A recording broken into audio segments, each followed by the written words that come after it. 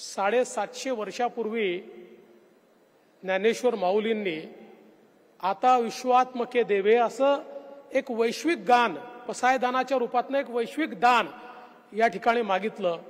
आज आपण पाहतो आपले पंतप्रधान माननीय नरेंद्र मोदीजी यांना जी ट्वेंटीचं अध्यक्षपद मिळालं भारताला ते अध्यक्षपद मिळालं.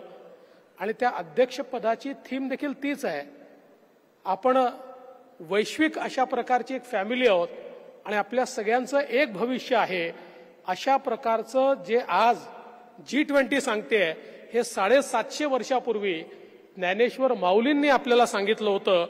ही आपल्या मराठीची खऱ्या अर्थानं मला असं वाटतं की भविष्याकडे पाहण्याची जी काही नजर आहे ती नजर आपल्याला पाहायला मिळते. खरं तर लीळा चरित्रासारखं मराठीतलं एक वाङ्मय जे का आद्य वाङ्मय मानलं जातं हे ज्या काळामध्ये लिहिलं गेलं त्या काळामध्ये कदाचित भारतामध्ये इतर कुठल्याही प्रदेशातली कुठलीही भाषा एवढी प्रगल्भ नव्हती जेवढ्या प्रगल्भतेनं त्या ठिकाणी लीळाचरित्र लिहिलं गेलं.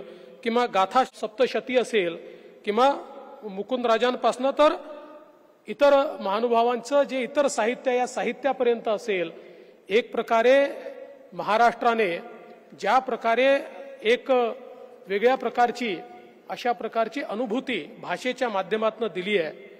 आणि मराठी ही किती जुनी आहे आणि ती किती त्याचा स्वाभिमान आहे. खरं म्हणजे आपण बघा संत ज्ञानेश्वरांनी मराठी भाषा सुंदरी अशी कविता लिहिली आणि त्यात कवितेत ते काय म्हणतात? जैसी दीपा माझी दिवटी का तिथी माझी पौर्णिमा गोमटी तैसी भाषांमध्ये मराठी सर्वोत्तम. जैशी सरितांमध्ये गोदावरी का पर्वतांमध्ये रत्नागिरी तैसी भाषांमध्ये साजरी मराठी पै.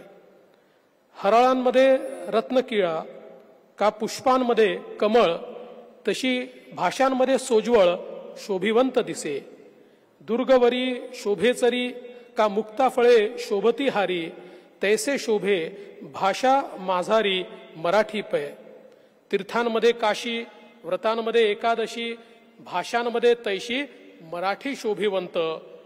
परिमळांमध्ये कस्तुरी का अंबरांमध्ये शमारिरी तैसी मराठी सुंदरी भाषांमध्ये. म्हणजे मराठीचं हे सौंदर्य इतक्या वर्षांपूर्वी ज्ञानेश्वर माऊलींनी खऱ्या अर्थानं त्या ठिकाणी लिहून ठेवलं. आणि आपण जर बघितलं तर पर्यावरणाच्या संवर्धनासह समाजातील अनिष्ट प्रथांवर प्रहार करत समाजाला प्रबोधनाकडे नेण्याचं काम हे तुकाराम माऊलींनी त्या ठिकाणी केलं.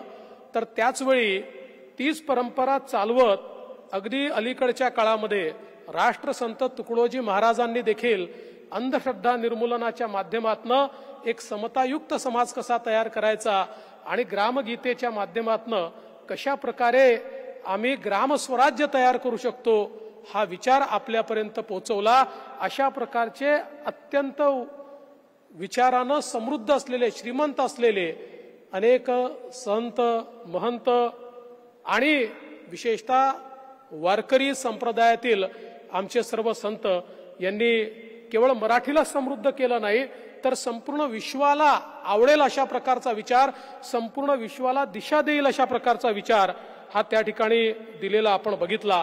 आणि म्हणूनच मला असं वाटतं की मराठी ही केवळ भाषा नाही आहे.